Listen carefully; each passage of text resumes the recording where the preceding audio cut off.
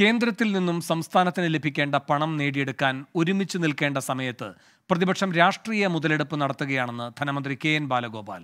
കേന്ദ്രമന്ത്രിമാരെ കാണാൻ U D F M പിമാർ എത്തിയില്ലെന്ന് ധനമന്ത്രി വിമർശിച്ചു. സാമ്പത്തിക അച്ചടക്കം പാലിക്കുന്നതിന്റെ ഭാഗമായാണ് ട്രഷറി നിയന്ത്രണം ഏർപ്പെടുത്തിയതെന്നും ബാലഗോപാൽ ട്വന്റി ഫോറിനോട് പറഞ്ഞു.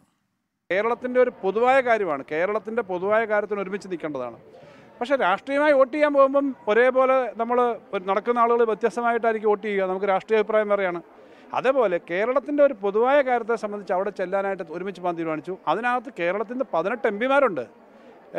യു ഡി എഫിന്റെ എൽ ഡി എഫിന്റെ രണ്ട് പേരേ ഉള്ളൂ. ഈ പിന്നെ രാജ്യസഭ എം പിമാരാണ് ഇവരൊരുമിച്ച് പോകാമെന്ന് പറഞ്ഞാൽ അവർ പോകാമെന്നാണ് ആലോചിച്ചത്. അവരൊരുമിച്ച് പോകേണ്ടതാണ് കാണേണ്ടതാണ്. അവർ കണ്ടില്ല. അപ്പോൾ കേരളത്തിന്റെ താല്പര്യങ്ങൾ സംരക്ഷിക്കാൻ അവർ ഈ കാര്യങ്ങൾ അവിടെ വേണ്ടത്ര ശബ്ദമായിട്ട് ശക്തമായിട്ട് ഉന്നയിക്കുന്നില്ല. കേരളത്തിന് കിട്ടേണ്ട ഒരുമിച്ച് ഇവിടെ വന്നു കഴിഞ്ഞാൽ ഇവിടെ ചെയ്യുന്നതിനെ സംബന്ധിച്ചുള്ള കാര്യങ്ങളോ വിമർശനങ്ങളോ ഒക്കെ പറയാം. പക്ഷേ അർഹമായത് കിട്ടാതിരുന്നാലോ കേരളത്തിന്? ആ പ്രശ്നമാണ്. അതൊരുമിച്ച് ചെയ്യേണ്ടതാണെന്നുള്ള കാര്യത്തിനകത്ത് ഞാൻ ഉറച്ചു നിൽക്കുകയാണ്. ആർ അരുൺ രാജ് കൂടുതൽ വിവരങ്ങളുമായി ചേരുന്നു. അരുൺ ധനമന്ത്രി ഇത് കഴിഞ്ഞ ദിവസം ഉന്നയിച്ച ആരോപണമാണ്. അതിന് കൊടിക്കുന്നിൽ സുരേഷ് എം പി പ്രതിപക്ഷ നേതാവ് ഒക്കെ മറുപടി പറയുകയും ചെയ്തു.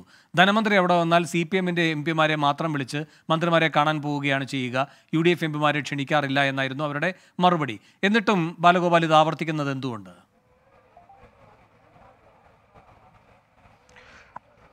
വേണു ഇതിൽ ആ, മൂന്ന് കാര്യങ്ങൾക്കാണ് ധനമന്ത്രി K N K N Balagopal ഇക്കാര്യത്തിൽ ഒരു വ്യക്തത വരുത്തിയത്. ഒന്ന് ഇതുമായി ബന്ധപ്പെട്ട് എം പിമാരെ വിളിച്ചില്ലെന്ന ആക്ഷേപം പോലും ആ കളവാണ്. കാരണം എം പിമാരെ ഈ യോഗത്തിന് വിളിച്ചിരുന്നു. ഈ യോഗത്തിലെ ആദ്യ അജണ്ടയായി തന്നെ കേന്ദ്ര മന്ത്രിസഭയിലെയും പ്രമുഖന്മാരെ കാണാനും ഈ കാര്യങ്ങളിൽ കേന്ദ്രത്തിന് കേരള- കേരളത്തിന് നേടിയെടുക്കേണ്ട കാര്യങ്ങൾ കൃത്യമായി നേടിയെടുക്കുന്നതിന് അവകാശവാദം ഉന്നയിക്കാൻ കേന്ദ്ര മന്ത്രിസഭയെ കാണണമെന്ന ആവശ്യം മുന്നോട്ട് വെച്ചു. അത് അജണ്ടയിലെ ഒന്നാമത്തെ കാര്യമാണ്. അത് ആർക്ക് മുമ്പിലും ചലഞ്ച് ചെയ്യാൻ താൻ തയ്യാറാണ് എന്നുള്ളതാണ് കെ എൻ ബാലഗോപാൽ പറയുന്നത്. മറ്റൊന്ന് ഈ കേരളത്തിന്റെ സാമ്പത്തിക പ്രതിസന്ധിയാണ്. ആ സാമ്പത്തിക പ്രതിസന്ധി നിലവിൽ സംസ്ഥാനത്ത് വലിയ തോതിലില്ല. അത് കേന്ദ്രത്തിൽ നിന്ന് ഫണ്ട് ലഭിച്ചാൽ അത് അർഹമായ ഫണ്ടാണ്. ആ ഫണ്ട് ലഭിച്ചാൽ മാറാവുന്ന പ്രശ്നം മാത്രമേ നിലവിലുള്ളൂ.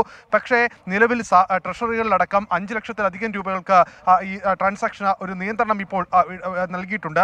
ആ നിയന്ത്രണം എന്തിന്റെ പേരിലാണ് എന്നുള്ളതാണ് അദ്ദേഹം പറയുന്നത്. സാമ്പത്തിക അച്ചടക്കം പാലിക്കുന്നു എന്നുള്ളതിന്റെ പേരിൽ മാത്രമാണ്. കാരണം ഓണക്കാലമാണ് ധന വ്യാപകമായ തോതിൽ ധന ഇടപാടുകൾ നടക്കും. അപ്പോൾ സാമ്പത്തിക അച്ചടക്കം പാലിക്കേണ്ടത് അനിവാര്യതയാണ് എന്നുള്ളതാണ്. പക്ഷേ ഇതിൽ വിമർശനമായി അദ്ദേഹം മുന്നോട്ട് വെക്കുന്നത് ഈ കേരളത്തിന് നേടിയെടുക്കേണ്ട ആവശ്യമായ പണം നേടിയെടുക്കുന്നതിൽ കേന്ദ്രത്തിൽ നിന്നുള്ള കേരളത്തിൽ നിന്നുള്ള എം പിമാർ ഒരു ഒരുമിച്ചുള്ള കൂട്ടായ ശ്രമം ഇക്കാര്യത്തിൽ ഉണ്ടാകുന്നില്ല. പലപ്പോഴും അത് സി പി എമ്മിന്റെ മാത്രം ഉത്തരവാദിത്തമായി മാറുന്നു ഇടതുപക്ഷത്തിന് മാത്രം ഉത്തരവാദിത്തമായി മാറുന്നു. കോൺഗ്രസ് എം പിമാർ പലപ്പോഴും ഇതിൽ നിന്ന് വിട്ടുനിൽക്കുന്ന സമീപനം സ്വീകരിക്കുന്നു എന്ന വിമർശനം കൂടി ധനമന്ത്രി കെ എൻ ബാലഗോപാൽ മുന്നോട്ട് വെക്കുന്നുണ്ട്. ആർ അരുൺ രാജാണ് കൊല്ലത്തുനിന്ന് വിശദാംശങ്ങൾ നൽകിയത്.